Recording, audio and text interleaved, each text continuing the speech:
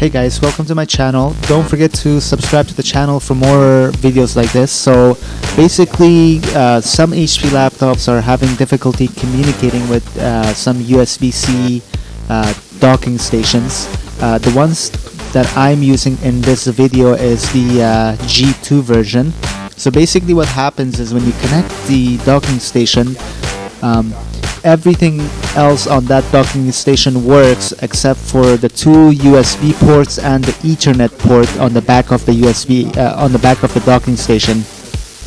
So the problem seems to be with the Thunderbolt software. There are two ways you can fix this. Uh, the first one being you download the up-to-date uh, Thunderbolt software from Intel and then every time you plug in a new docking station or if it's the first time you're plugging in your docking station you go to that uh, Thunderbolt software control center and you specifically select it to connect every time without uh, asking you.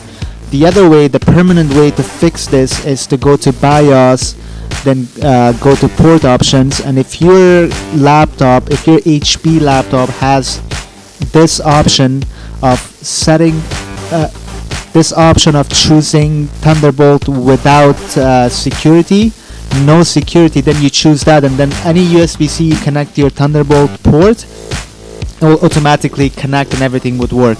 But if yours does not have it if it's a ProBook uh, one of the old ones with USB-C then you uh, unfortunately there is no fix. So you would have to uh, download the Thunderbolt software and then um, go to Thunderbolt Software Control Center and approve the connection